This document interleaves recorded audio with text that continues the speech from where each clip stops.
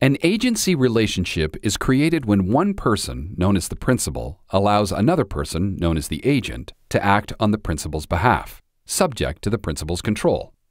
Such a relationship can be created with or without the exchange of consideration or value. Additionally, during the existence of the relationship, the principal is liable to third parties for physical injuries caused by the agent's negligent acts. In the 1937 case of Gorton v.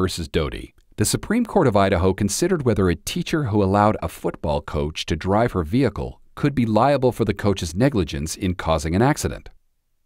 On September 21, 1934, Charlotte Doty was a teacher at Soda Springs High School which was scheduled to play a football game at Paris.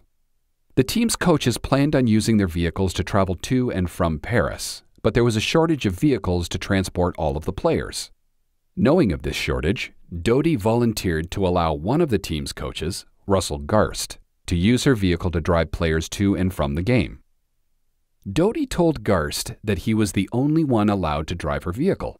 Doty didn't receive any compensation for the use of her vehicle and didn't assert any other control over its use. While driving Doty's vehicle back from the game, Garst got into an accident while going around a sharp curve.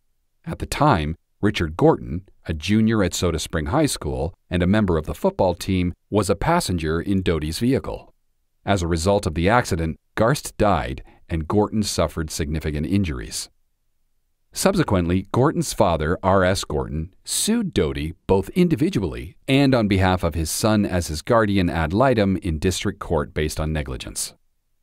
The case went to a jury trial, and the judge instructed the jury that it could find for Gorton if it found that Garst was Doty's agent at the time of the accident. In response, Doty moved for a mistrial, claiming that the judge improperly instructed the jury on the law. The court denied the motion and the jury returned a verdict in favor of Gorton for nearly $6,000. Doty then appealed to the Supreme Court of Idaho.